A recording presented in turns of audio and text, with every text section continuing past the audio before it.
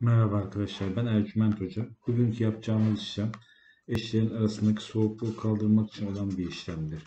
Bu işlem kürmü hakla yazılır, nefsi devam eder ve fesli hakla biter.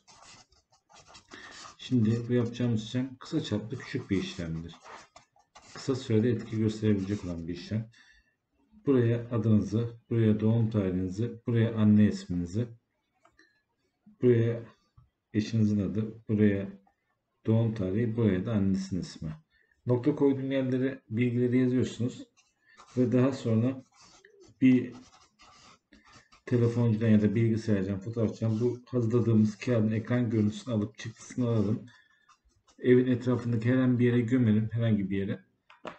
Ee, aradan 20-25 gün geçtikten sonra etkilerini olumlu şekilde görecektir. Allah'a emanet olun. Ayrıntılı bir bilgi almak isterseniz de bana WhatsApp hattımdan altta numaralarım var. Orada ulaşabilirsiniz. Elimden geldiği kadar profesyonel şekilde yardımcı olmaya çalışıyorum. Merhaba arkadaşlar. Ben Ercüment Hoca.